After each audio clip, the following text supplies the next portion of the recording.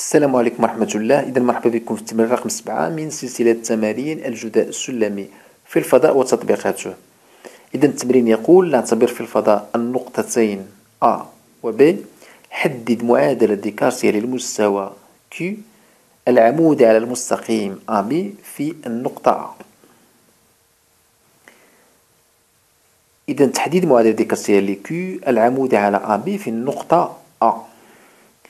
إذا لتحديد معادلة ديكارسيا لمستوى فنحن نحتاج إلى تحديد متجهة منظمية على هذا المستوى ونقطة من هذا المستوى إذا حسب المعطيات لدينا كي المستوى كي عمودي على المستقيم AB ماذا يعني هذا؟ إذا عندنا واحد المستوى وعندنا واحد المستقيم AB إذا يعني أن المتجهة AB هي متجهة منظمية على المستوى B. إذا المتجهة AB منظمية على المستوى Q. ما معنى هذا؟ إذا معنى هذا أننا لقينا واحد المتجهة منظمية على Q إذا غادي نحدو آه، الإحداثيات ديال المتجهة المنظمية AB. إذا AB كما عرفنا سابقا هي x B ناقص x A. إذا x B هي ناقص واحد ناقص x A اللي هي واحد. إكريك بي ناقص إكريك أ أي واحد ناقص واحد. و z B اللي هي ناقص واحد ناقص z اللي هي واحد.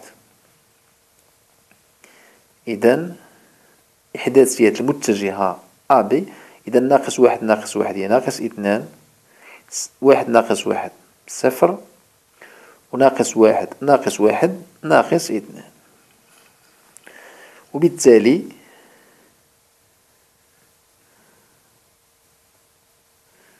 معادلة كي تكتب على شكل على شكل ماذا؟ على شكل ناقص جوج x زائد صفر إكغيك ناقص جوج z زائد d تساوي صفر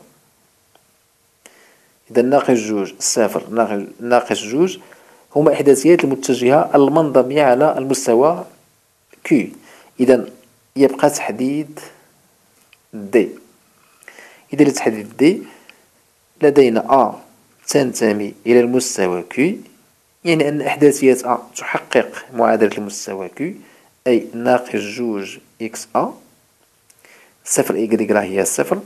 إذا ناقص جوج z A زائد d تساوي صفر. أي إذا كنعوض الإحداثيات القيمة ديالها إذا ناقص جوج في واحد ناقص جوج وزد أ كذلك كتساوي واحد زائد دي تساوي صفر. إذا ناقص جوج في واحد هي ناقص جوج ناقص جوج زائد دي تساوي صفر. وبالتالي ناقص ربعة زائد دي تساوي صفر. إذا دي تساوي ماذا؟ ناقص ربعة كنحولوها للطرف الثاني كترجع ربعة وبالتالي المعادلة ديال كي تكتب على هذا الشكل.